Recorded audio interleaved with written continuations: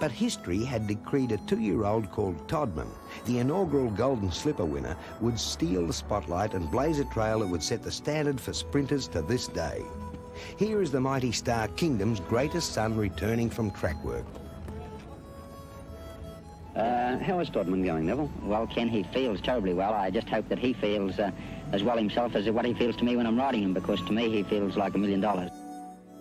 A fractured sesamoid bone interrupted his three-year-old career and forced him off the scene for two years. Returning to the track, Todman won his only three race starts, culminating with the Futurity Stakes at Caulfield.